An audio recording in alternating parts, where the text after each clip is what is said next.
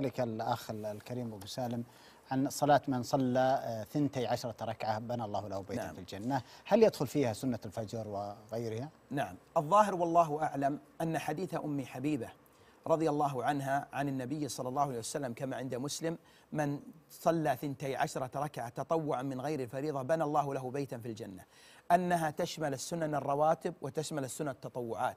وهذا هو ظاهر مذهب مالك وهو ظاهر مذهب أحمد.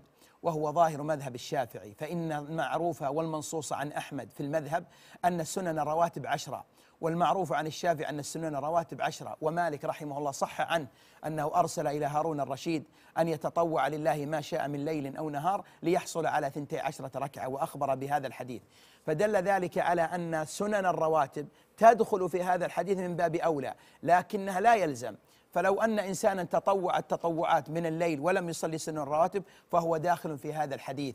وأما ما جاء في رواية آه، آه، أبي إسحاق السبيعي في رواية أنه أربع ركعات قبل الظهر وركعتين بعدها فإنها المشهور عنه أنه قال وركعتان قبل العصر. ومن المعلوم أن العصر ليس من السنن الرواتب. فالذي يظهر والله أعلم أن هذه الزيادة منكرة. فإن أكثر الرواة رووه عن أم حبيبة من غير ذكر التفصيل. ولهذا مسلم لم يروي هذا التفصيل وإنما رواه الترمذي وقد اختلف عليه. فالذي يظهر والله تبارك وتعالى أعلى وأعلم. أن الأول من أن من أوائل من ذكر أن سنن الرواتب داخلة في هذا الحديث فقط هو أبو العباس بن تيمية وقبلهم من بعض السلف.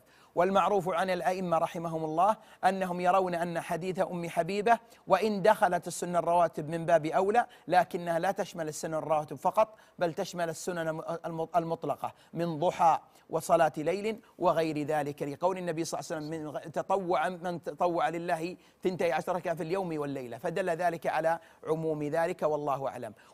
وفضل الله آه، عام. لا يسوغ لأحد أن يقيده إلا بدليل والله أعلم. بارك الله فيكم وأحسن إليكم.